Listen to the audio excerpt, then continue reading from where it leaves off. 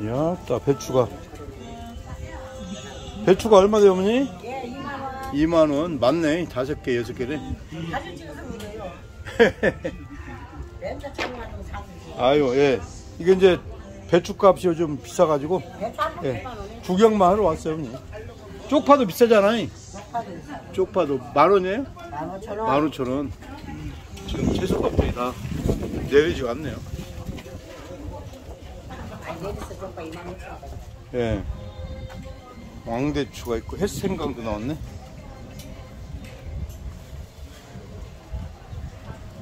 아, 안녕하세요. 쪽파. 쪽파가 좋네요. 여기. 쪽파도 있고 청양고추도 있고. 일일이 꼭지를 다 따시네. 그냥 바로 졸이기만 하면 되겠네 이거. 네, 그러시라고. 예, 이렇게 내기 청양고추도 있고 또 이게 또 그거 뭐 밀가루 묻혀갖고 또 이렇게 막 하는 것도 있죠. 예, 그런 거. 이걸 밀가루에 붙여서 찍은 거. 예, 예, 갖고 그러니까 저 말려갖고 예, 그 고추 부각인가 보죠. 예, 아 이게 진짜 맛있습니다. 어, 이렇게 한 숟갈이 얼마냐? 3천 원. 3천 원씩.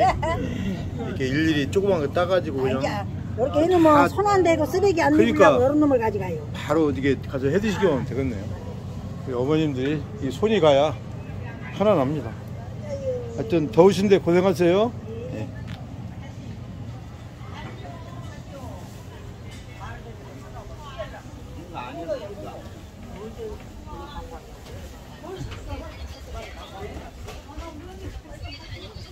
누가 찍은데요? 안녕하세요, 어머니. 장날 채소 나물 찍으러 왔어요, 어머니. 아. 어떻게 이제 이것만 보고 그냥 뭐 저기 하지. 보고 배부르고 채수가 없- 네, 돈이 없어 사진은 못 오고 채소가 채소값이 비싸가지고 아, 그게 없어 없이 없잖아. 안 사가? 그러니까 배추랑 배추랑 지금 팔아야 되는데 썩어 버렸어. 다 어머니 농사 졌구만. 아니 먹으려면 좋게 심었는데 썩은 뺑인가. 그러니까 저도 저도 그냥 몇 판 심었는데 다 죽었네요. 안개 죽은 놈 냅두고 산 놈만 갖다 네. 지금 우리 어머님 쪽파, 고구마 줄기, 꽈리고추 이렇게 가져오셨네. 햇감져도 가지고. 자린 고비면으로 그냥. 예, 그냥 이거 촬영한 거 보고만 예. 그냥 간장만 떠놓고 밥만 먹어야지. 요 알타리도 찍어갖고 저기 요놈 보고 그냥 하나 잡수고 그러시. 다 손질하셨네 알타리무. 예. 알타리무도 비싸는데 열무랑요. 비싸요. 없어 알타리가. 예. 없어. 만 원. 이게. 이렇게 다 손질하셔서 바로 그냥 저 그, 그 가서 소금 넣고 예. 그냥 고춧가루 넣고. 예 하면 되겠네요. 예 이게 일일이 깨끗이 손질하셨네요, 우리 어머니. 그래서 이제 씻어갖고 그냥 예, 예. 아이고 고생하셨네. 또 깻잎도 이렇게 따오시고 예. 부추, 또 쪽파도 일일이 쫙. 쪽파값도 올해 양 만만치 예, 않아요. 올해는 아 이제 비싸요. 많이 됐죠.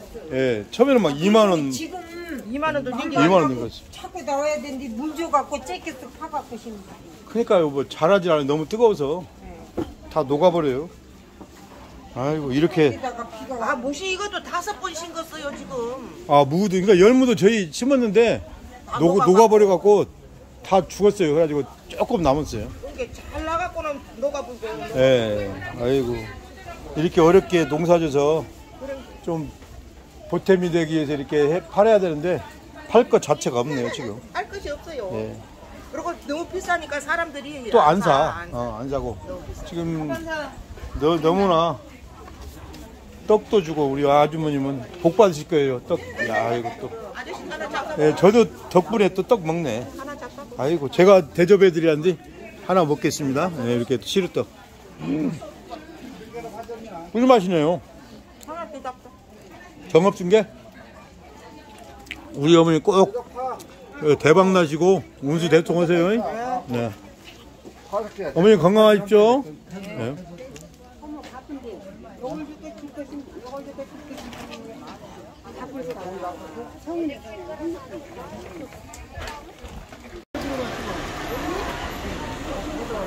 남원장날 전통시장 구경입니다.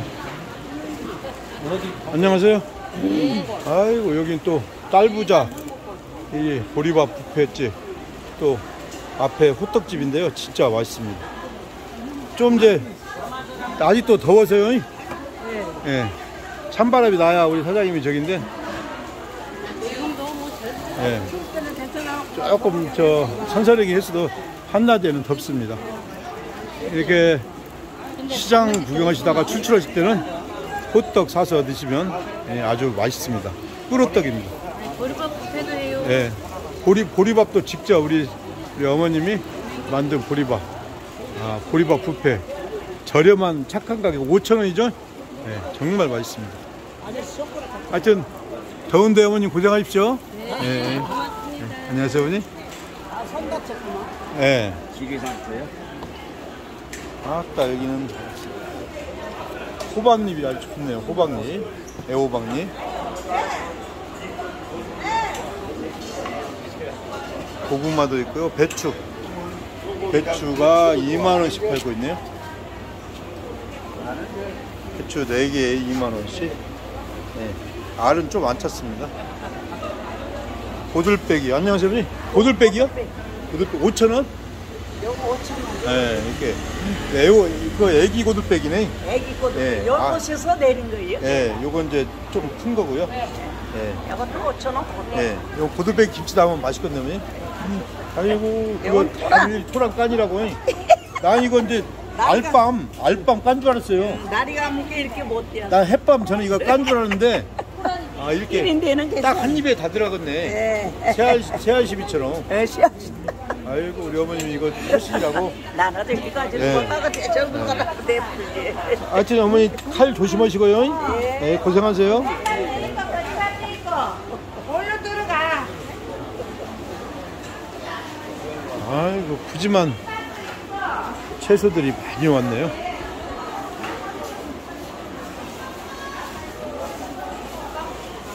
배추가 한개 크네 이건 15,000원이네요. 아주 큰 배추네. 어이구 배추가 아따 이거요. 예. 예. 요건 만 오천. 갈치 맞아 갈치 한 마리 뭐한 끈이밖에 못 먹죠.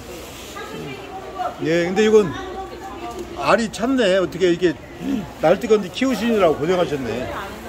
배추 한 개에 15,000원씩 큰 통배추입니다. 멸무도 있고요. 이게 이게 여, 이게 뭐라고 했죠? 여, 양아요, 양. 양아 양아 양아. 아유 이 약이 되는 겁니다. 양아. 양아 이거 전 부 쳐 먹으면 아주 맛있습니다. 전 간젓도 붙이고 예. 썰어서도 붙이고 토란 토란 이게 어머니 까시라고 아따 그 뚫팡 빗자루가 양 조그맣고 좋네요 아이 수수 빗자루네. 이렇게 사진만 찍어 가지 말고 사탕이나 하나 사다 이렇게 신기 하나 주고 그래요? 나도 양 입이 쓰네. 계속 얘기했더니 어머니 사탕이나 하나 사갖고 하나 음. 붙일 사탕을 다음에 사올게요 어머니. 저도 생각을 못했네 우리 어머니도 양아네 양아 있네. 대추가 아이고 왕대추네. 밤도 있고. 내 손가락은 다칠 듯한 저 낫지르다가 아, 낫도 있고 예, 저 농사져요. 예. 나무가 막 밭 옆으로 와가지고 비다가 뱀피랑 그렇게 사가지고 잼피도 좋네요, 어머니. 잼피. 예, 전, 전 이것만 찍어, 어머니. 촬영, 촬영만 해야. 아따.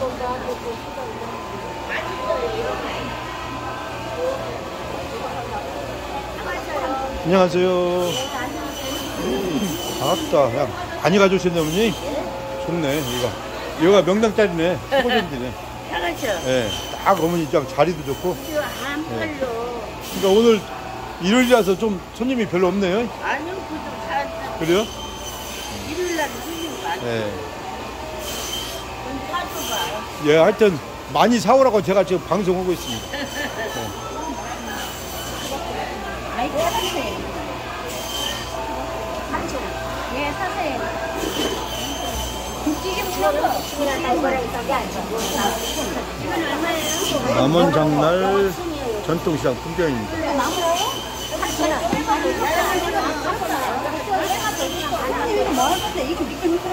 안 미끄러. 안 되는 부분은 이렇게 미끄러다 야야.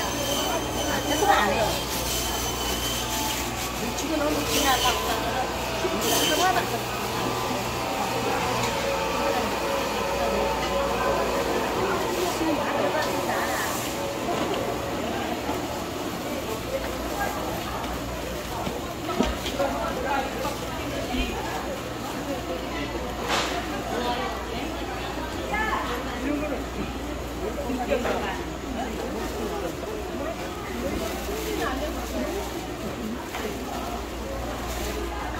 아, 또 어머니 밤이 좋네요.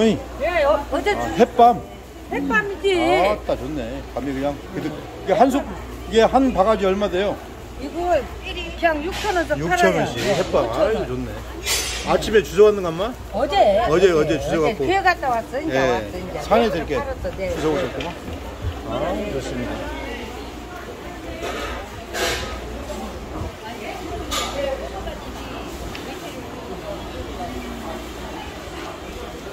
남원정날 전통시장 풍경입니다. 안녕하세요, 어머니. 산추도 가져오셨네. 아, 이거 이게 저도 산골에 살까. 이게 맛있잖아요. 이게 장, 담, 장담, 장아찌. 야, 이제 이게 간장 담을 때도 넣는 게 맛있어. 예, 향이 아주 좋습니다. 상큼하니. 또 이렇게 대파도 가지고 양어, 양어가 여기 많이 나는가 봐요. 오, 이 렇게 양어. 어디서 살았까 양에다 이거. 저 진안 살이 진안. 진안도 상, 요거 남은 시잖아. 저는 산골이고. 아이고, 좋은 거 많이 가져왔네. 햇밤, 부추, 또 고추도 있고요. 우리 어머님들이 용사제에서 직접 가져온 채소들이 많습니다. 안녕하세요, 어머님. 많이 파셔요? 네. 고추잎, 고추잎, 애호박잎도 이렇게 따오셨고, 토란이 오늘 봤네요. 토란 요거 깨 갈아놓고 이렇게 끓이면 맛있잖아요. 네, 아주 고소합니다. 남원 정통시장 5일장 풍경입니다.